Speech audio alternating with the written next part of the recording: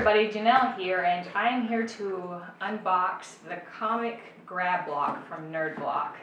I got it whenever I made a subscription to them. They give you an option to add a block, and it's usually just stuff from their previous blocks, and you don't really know what you're gonna get. So, here it is. I open it up, and this is what you see. Let's see. The first thing I got is Batman mug, which I actually already have, but it's cool, so I don't mind. And for a shirt, this is what I got. I think that don't know who that is to be honest. It's Spider-Man something, or. It might be that Spider Gwen that I've heard of. I do not know much about that. It's a cool shirt, so I'll wear it. And I got a Green Lantern ring. I'll probably give this to one of my kids. Not something I really would wear. But looks cool. It lights up. And then I got some comics. Back to the Future. It's pretty cool.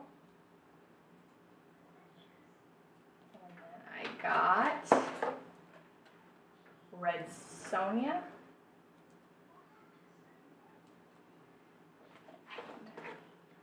Ooh, X Files.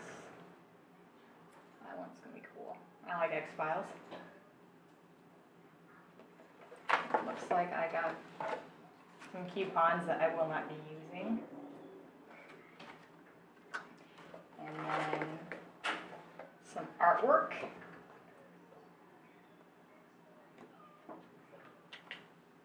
and just the shirt punch stuff and puzzle piece that you get in different boxes. And that is it. I'm going to show off all their different blocks they have.